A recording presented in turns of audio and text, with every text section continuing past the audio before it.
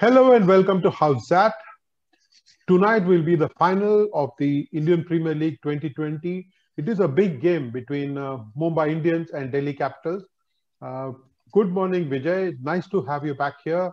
Uh, it's an old rivalry between Delhi and Bombay dating back to the 70s, even though IPL itself is only 13 editions old.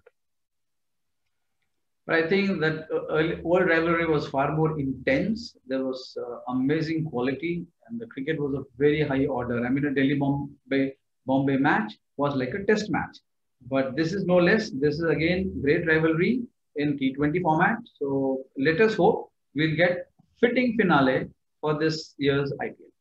One of the legends of sports writing, Vijay, CLR James, uh, many, many years ago told us that uh, sport is only reflecting the society in which it is played. Perhaps the fact that Delhi Bombay rivalry has degenerated to T20 cricket uh, from Ranji Trophy cricket uh, tells us of how perhaps we have come down as a society.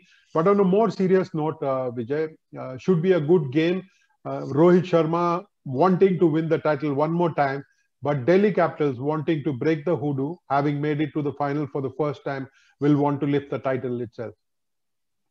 Yes, Radharaman. I mean, I, uh, if you, if you talk of uh, rivalry, uh, I would say uh, that rivalry meant all Bombay players were from Bombay, all Delhi players were from Delhi. So here it's a collection of players from all around. The names are Delhi Capitals and Mumbai Indians. Uh, let us hope uh, uh, each player, uh, I mean, there many hearts will be broken, many hopes will be rekindled, and there is a lot of lot of youngsters will see a great future for themselves in the game. like we have been talking the whole series, let the best team win. It's very easy to say, but I think many people will be happy with a new champion. But credit to BCCI and to the IPL governing council, Vijay, for pulling off the tournament. Uh, they have done a very good job of ensuring that the tournament uh, has happened without incident. Um, of course, uh, they started off on the wrong foot with a few cases of COVID uh, in the bubble, but then uh, they managed it pretty well. And uh, it is amazing that a whole tournament has been gone through without any further incident uh, around health, even though many have got injured in the desert cricket. Yes, injury is part of the game. I mean, uh, nobody wants to get injured. You exert extra or you don't prepare well for the tournament, uh, you are bound to uh, be on the injury list. But yes, full marks to BCCI. They pulled out a great tournament. They did it in South Africa also earlier. They did it in Dubai also earlier. So uh, they have great organization capabilities. They have shown it. And like you said, not one incident apart from the initial stages where they came in with COVID from uh, from Chennai. So full marks to BCCI and every every member associated with making this tournament a great success from ground staff, from umpires to the main stakeholders, the players. And I think the fans as well, uh, they have kept the tournament alive, Vijay. They have kept the tournament's uh, flame burning uh, because without fans, um, even IPL will concede that um, it would not be the same as before. But uh, full credit to the players for having played before empty stadium and then um, delivered their best performances and given uh, Indian society, at least the cricket fans, something to cheer about? A lot to cheer about. I mean, as we, I've been hearing stories of how people would wait for 7:30 p.m. and then hang on, finish all their work before that. That is how it used to be in, in the past also. I mean, the whole family would sit in front of the television, and some places they would have to have order second television because some people did not want to want to watch cricket. So they would watch their own other serials and maybe news. But here, you're right that fans from wherever they have been, they have supported it by uh, by watching it and uh, supporting on social media also. There have been such so many debates. So I find it very interesting, very, very interesting and different, Rajaram, from the times we have been from. It is now time, Vijay, to invite uh, former India leg spinner Reema Malhotra to join us and have a conversation around IPL and around cricket. Vijay Lokpalli, my colleague, and I am pleased to welcome Rima Malhotra, who's played 63 games for India. She's got an amazing 63 caps in just six years' time from 2007 to 2012. And uh, she has been amazing leg spinner herself, picked up a lot of wickets for India. Thank you very much for joining us today, Rima. Thank you, Rasan, and thank you uh, for having me on the show. I mean, it's a pleasure actually, Rajaraman, because I was going through the uh, records and I discovered that she was in the middle with um, Mithali Raj when India beat England in a test match at Taunton. So, very fond memories she must be having, I'm sure. And uh, she's had a very good career and now she's doing some media work. She's now one of us. So, welcome, Rima. It's a pleasure to have you here. Thank you so much, uh, Vijay sir. Uh, Rima, would you, would you, want to go back to that test match that Vijay just spoke about? Uh, you must have very good memories. All of us believe test cricket is the ultimate form of the game. And uh, I know Indian team hasn't played a, test match in a long time. I'm speaking about the women's team. They haven't played a test match in a long time. I would, I would want you to recollect some memories from that test match of yours. Well, sir, uh, definitely red ball cricket कितना important था। उस time पे भी और आज भी वो हम सब जानते हैं बट ऐसी मेमोरीज अगर आपकी लाइफ का एक हिस्सा बन जाती है तो वो कहीं ना कहीं लाइफ लॉन्ग आपके साथ रहती है। मुझे अभी भी याद है कि वो उस गेम में मैं, मैंने बॉलिंग नहीं की थी। मैं सिर्फ़ शॉर्ट लेग में बैठ रही पूरे दो दिन तक। और मिथाली ने बोला आगे बैठ के थोड़ा सा उनके कानों में भी थोड़ी सी कुछ बातें बोलना। था तो हमने काफ़ी बात भी की थी डिस्ट्रैक्ट भी किया था। बैट्समैन को मुझे लगा बैटर बैटर को तो मुझे लगा था कि कहीं ना कहीं मेरी बैटिंग नहीं आएगी। ऐसा मुझे एश्योर किया था मिताली राज ने कि आपकी बैटिंग नहीं आएगी। बस आप चढ़ के ऊपर बैठो और फील्डिंग आगे की कैचेस संभालो और कहीं ना कहीं डिस्ट्रैक्ट करो बल्लेबाज को जो एक स्ट्रैटेजी रहती है टेस्ट टेस्ट क्रिकेट में। लेकिन उसके बाद जब मेरी बैटिंग आई तो मुझे बहुत अच्छे से वेलकम मिला था इंग्लैंड वुमेन टीम से क्योंकि द मोमेंट मैंने एंटर किया तो पूरी क्रीज तक उन्होंने मुझे बोलते बोलते ही छोड़ा था। तो मैंने बोला था मिथाली संभाल लेना, ये लोग मेरे पीछे पड़े हैं। और जितना मैंने बोला था दो दिन में, उन्होंने मेरे को शायद वो आधे घंटे में इतना सुनाया था। और लेकिन वो मोमेंट बहुत इंपॉर्टेंट था क्योंकि बटरफ्लाईज डेफिनेटली होते हैं और एक डर था कि कहीं वो डिस्ट्रैक्ट जो डिस्ट्रैक्शन थी मेरे को, कहीं मेरी विकेट ना उसमें चली जाए। लेकिन थैंकफुली तो मिथाली राज जिन्होंने उस टाइम मुझे कॉन्फिडेंस भी दिया और uh, मैं कुछ शॉट्स खेल पाई और विनिंग शॉट भी जब मैंने खेली थी तो that was a moment in ऐसा लगता है कि वुमेन्स क्रिकेट अभी अभी भी टेस्ट क्रिकेट को मिस करता होगा करना भी चाहिए और जल्दी मैं चाहूँगी रेड बॉल क्रिकेट भी देखना क्योंकि ऐसी मूवमेंट्स मेरे साथ ही नहीं बहुत से खिलाड़ियों के साथ आ सकती है। मुझे तो बड़ा आश्चर्य हो रहा है रीमा की मिथाली जो इतनी स्वीट इतनी शांत लड़की है उसने आपको बोला कि जाइए और इनको सुनाइए पिच पे देखिए शांत है वो बिल्कुल है उसमें कोई दो राय नहीं है लेकिन आ, आ, कामनेस उनकी बैटिंग में भी दिखती है ड्रेसिंग रूम में भी दिखती है, लेकिन वो पार्ट ऑफ़ स्ट्रैटेजी था, एक कप्तानी स्ट्रैटेजी थी और बहुत अच्छी स्ट्रैटेजी थी क्योंकि इंग्लैंड जो था उस टाइम हमारे ऊपर हावी हो रखा था, हम पाँच वनडे उनसे हार के आए थे तो कहीं ना कहीं अपर हैंड था इंग्लैंड में स्पेशली अगर आप इंग्लैंड में खेलते हैं, लेकिन मेरे को ज़्यादा टॉन्टन में वो मैच था जिसको मिनी इंडिया कहा जाता है विकेट अच्छी थी वहाँ पे और हमें कहीं ना कहीं चढ़ के खेलना था। उस टाइम का जो वार्म अप था, वो बहुत स्पेशल था।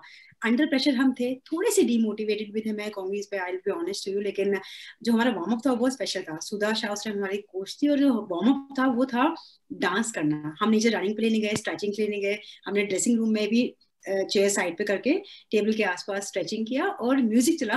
तो टेबल को राउंड लगा के आपको डांस स्टेप करना था। हर एक खिलाड़ी को एक नया डांस स्टेप करना था, उसको पूरी टीम फॉलो करना था।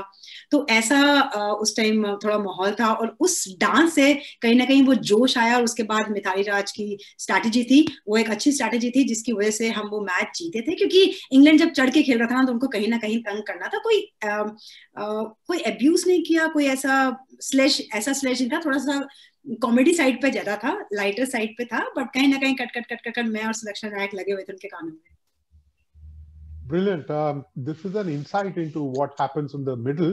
Uh, लेकिन रीमा uh, आपको ये भी बताना होगा कि जब एक टीम डाउन है आपने बताया सुदाशा एंड मिताली राज का एक स्ट्रेटेजी था आईपीएल में हमने देखा है many teams have been down for example a team like Kings Eleven Punjab bottom of the table थे then they rose to uh, the fifth place.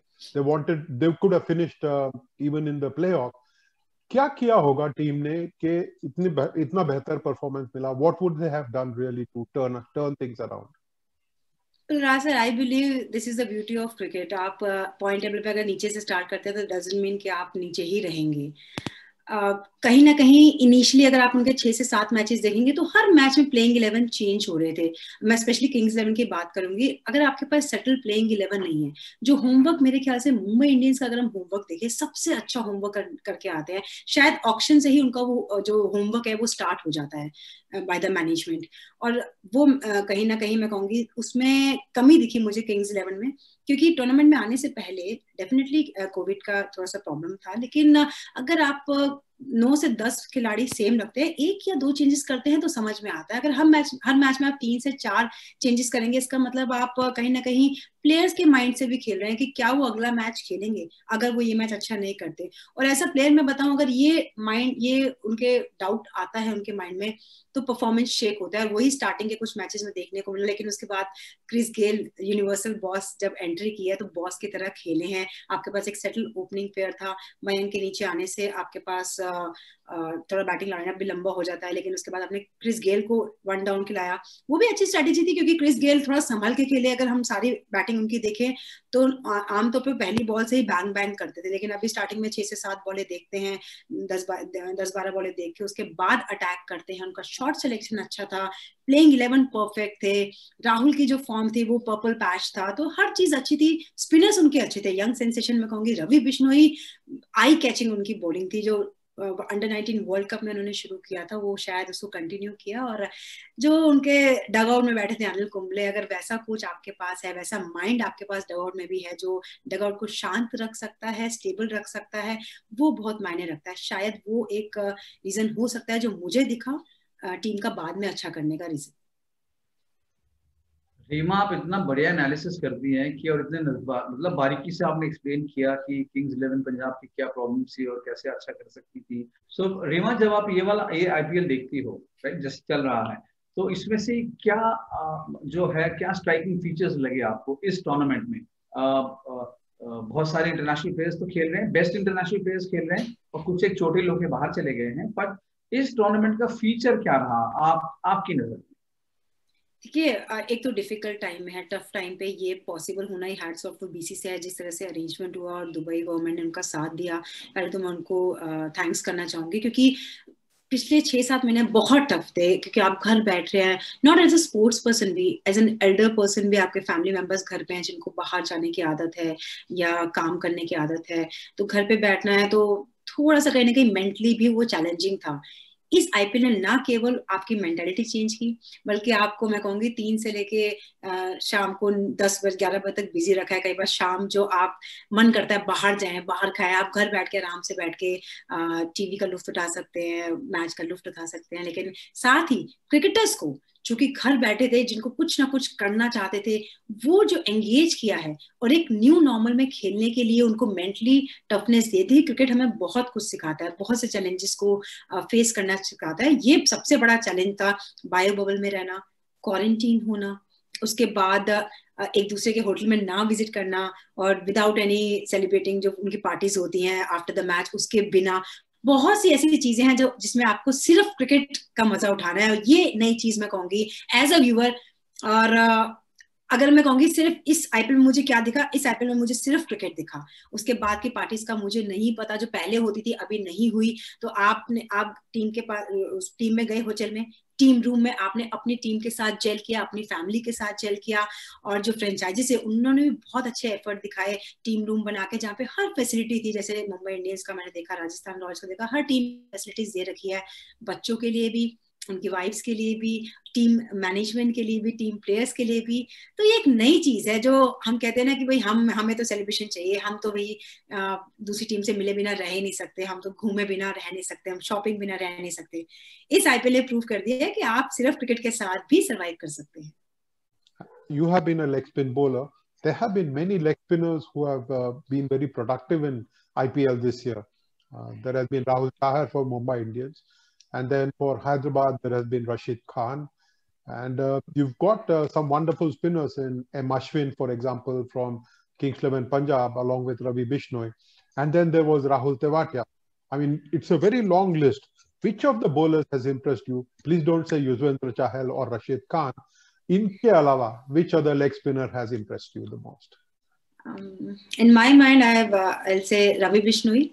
I mean, he's an under 19 player and uh, playing with some legends he made a name of himself which is a great thing I mean in every situation he bowled brilliantly whether it's with the new ball or in the death overs so uh, he has the control being a leg spinner is a map leg spinner so so the most important thing is control bowling against some legends and in difficult situation you need the control you need the proper mindset और वहां पे रवि बिश्नोई ने कहीं ना कहीं as रख ली है although I'm impressed with uh, Murugan Ashwin also, but uh, I'll give 10 out of 10 to Ravi Vishnu. Yeah, and uh, since you are a spinner, इसमें तो हर कोई फास्ट बॉलर्स की बात करता है क्या बाउंसर था क्या यॉर्कर था और क्या स्विंग था? तो स्पिनर्स की कितनी अहमियत देखी आपने इस टूर्नामेंट में? उनके पास स्किल तो है कितने स्किल्स वो यूज़ करेगा? और हमेशा प्रेशर में डालता है कई बार नई बॉल से डालता है कई बार लास्ट में डालता है बीच के ओवर डालना पड़ता है। तो स्पिनर की क्या अहमियत है? टी ट्वेंटी क्रिकेट बहुत है। देखिए, जब स्टार्टिंग में जब टी ट्वेंटी आया था तो ऐसा लग रहा था कि स्पिनर्स की तो डेथ है, इनको तो पढ़ने ही वाली है, और पढ़ती भी थी, क्योंकि इंडिया में जो विकेट्स थी, अगर आप वांकड़े में खेल रहे हैं ईडन गार्डन में खेल रहे हैं स्पिनर्स के लिए कुछ भी नहीं था। हाँ अगर आप चेन्नई में खेल रहे हैं, वो बात अलग है, लेकिन बाकी विकेट्स कहीं ना कहीं फ्लैट थी, और स्पिनर्स को चालीस पैंतालीस रन पड़ना आम था, अगर आप बैंगलोर के विकेट भी देखेंगे। लेकिन अभी के आईपीएल में स्पिनर्स का बोलबाला रहा है, और जिस तरह से उनको मौका मिला है, अपनी जो स्ट्रेंथ पे बॉल डाले हैं, क्योंकि विकेट्स ने कहीं ना कहीं हेल्प किया है। ड्राई विकेट्स थी, बाद में डेड विकेट्स हो चुकी थी टायर्ड विकेट्स थी और जिस स्पिनर्स के पास वेरिएशन है, इसलिए मैंने कहा कि अगर राशिद और युजविंदर चहल के बाद कोई बॉलर को मैं लूँगी एज मतलब स्पेशल लेग स्पिनर तो रवि बिश्नोई क्योंकि अगर आपके पास गुगली है, आपके पास फ्लिपर है, आप स्लोअर वन डाल सकते हैं। राहुल चाहर फॉर एग्ज़ाम्पल उनके पास भी अच्छी गुगली है। तो अगर आप अपनी वेरिएशन का यूज़ करते हैं और साथ में विकेट आपकी हेल्प करता है तो स्किल भी है मेंटल एस्पेक्ट में भी आपके पास एक है प्लस पॉइंट है कि हाँ विकेट मेरी हेल्प कर रही है। चाहे ग्राउंड छोटा हो शाहजहा में भी देख लीजिए कि बाद में राहुल तेवतिया ने भी अच्छी गेंदबाजी की है। अगर आपके पास कंट्रोल है, अगर आपके पास जिगर है स्पेशली जो एक लेग स्पिनर के पास होना बहुत बहुत इंपॉर्टेंट है तो आप किसी भी विकेट पे सक्सेसफुल हो सकते हैं, किसी भी बल्लेबाज के सामने सक्सेसफुल हो सकते हैं। रीमा, थोड़ी सी युजवेंद्र चाहल की भी बात कर लेते हैं। इस आईपीएल में he has bowled with the wet ball and he has bowled brilliantly मुझे नहीं लगा कि वो उनको कहीं से भी परेशानी हुई what would he have done to retain that much control over a wet ball because unke kai matches uh, they were bowling second and we got to see other struggle including in Sharjah but uh, Chahal was uh, a standout performer for RCB see Raj I believe कि uh, कहीं ना कहीं team prepare थी और जब prepare होते हैं कि आपको पता है कंडीशंस का कि dew factor definitely important role play करेगा दुबई में जाके जब आप आईपीएल खेल रहे हैं। तो जो प्रोसेस था, जो प्रैक्टिस सेशंस था मुझे ऐसा लगता है डेफिनेटली उसमें वर्क किया गया है। आपने ज़रूर अपने स्पिनर्स को वेट बॉल्स दी होंगी और देनी भी चाहिए। क्योंकि हमने भी जितनी प्रैक्टिस जब टी ट्वेंटी फ़र्स्ट खेला था हमने, तब मैं उस टीम का हिस्सा भी थी, वो मैच खेली भी थी मैं इंग्लैंड में। तो हमें बताया गया था ड्यू फैक्टर हो सकता है। तो हमारे कोच ज्योति सुदर्शन उन्होंने हमें कुछ वेट बॉल्स दी थी कि आप बीच बीच में इनसे भी बॉल डालिए। हर बॉलर को कंपलसरी था कि आप वेट बॉल से बॉल डालेंगे। तो कहीं ना कहीं मुझे लगता है वो प्रोसेस ज़रूर फॉलो किया होगा। जसविंदर चहल क्या हर टीम ने वो प्रोसेस फॉलो किया होगा। और वो जो प्रैक्टिस थी वो ज़रूर मैचेस में काम आई होगी और रुजविंद्र झा के पास कंट्रोल है।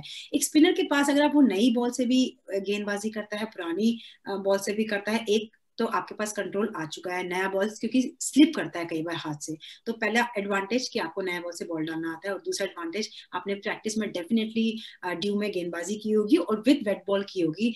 अगर आपने प्रोसेस की अगर आपका प्रोसेस अच्छा था तो आपका रिज़ल्ट मैचेस में शो हुआ।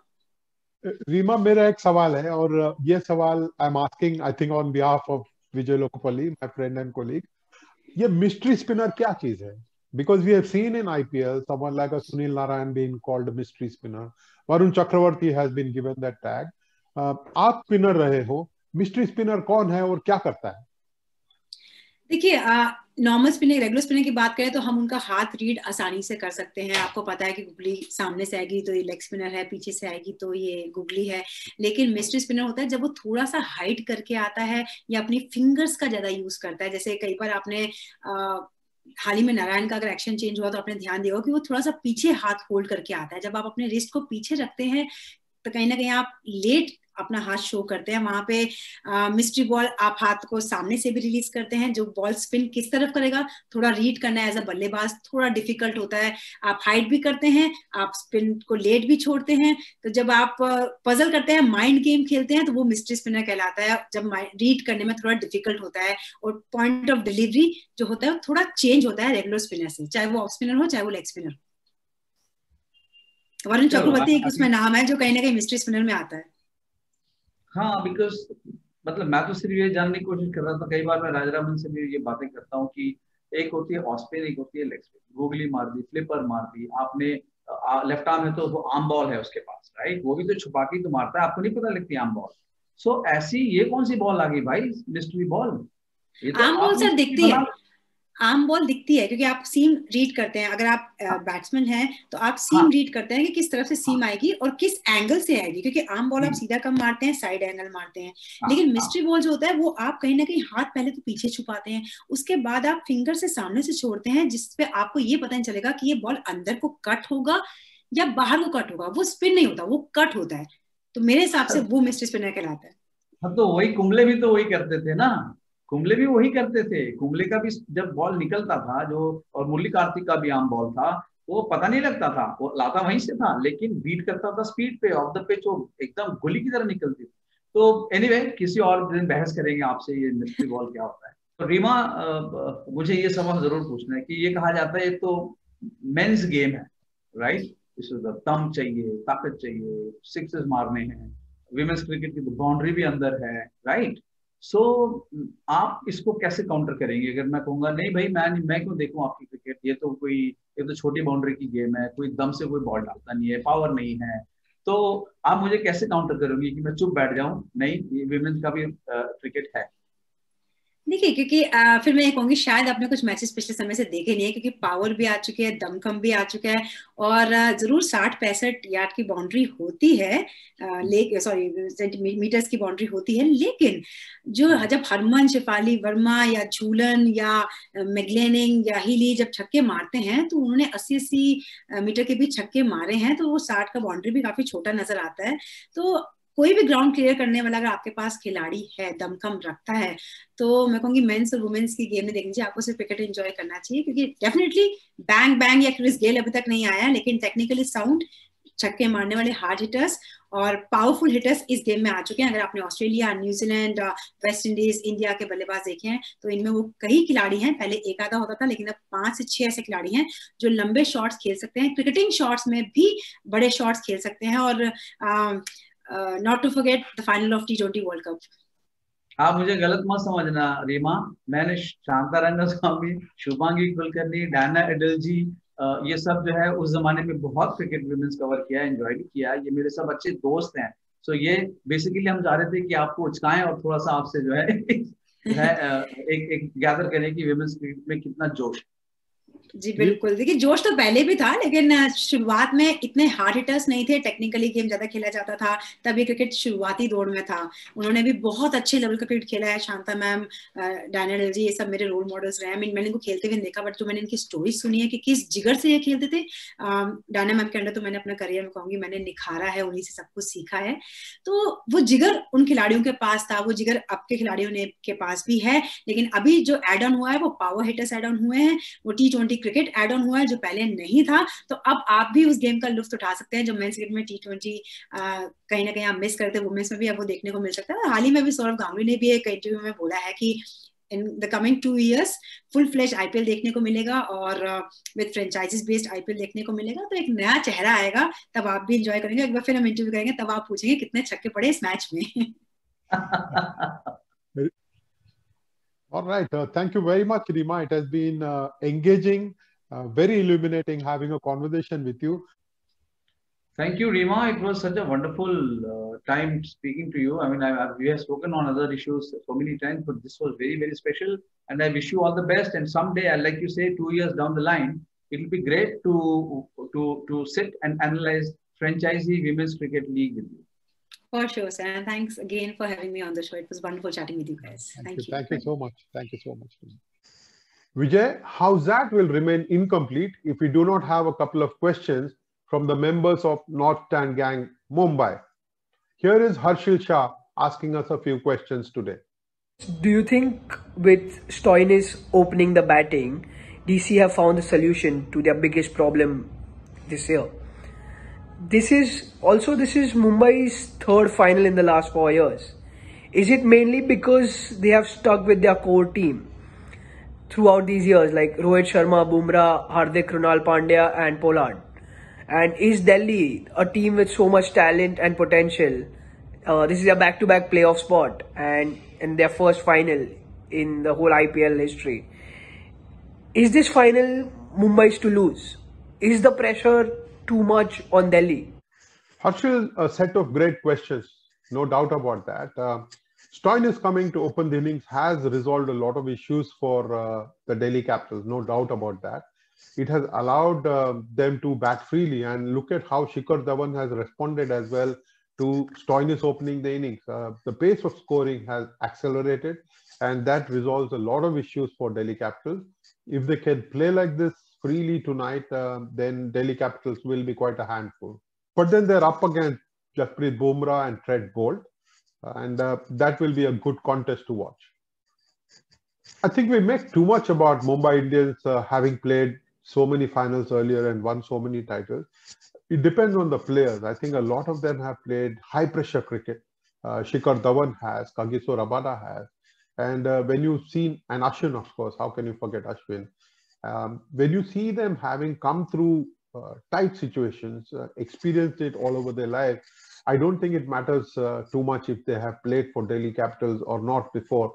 And the fact that they will be hungry uh, will be a huge factor. They will want to win the title, and uh, it will be Mumbai Indians' uh, match to lose if they take uh, Delhi Capitals lightly. I don't think Mahela Jayawardene and Rohit Sharma will make the mistake of uh, assuming that uh, the match is already won. Right, Vijay.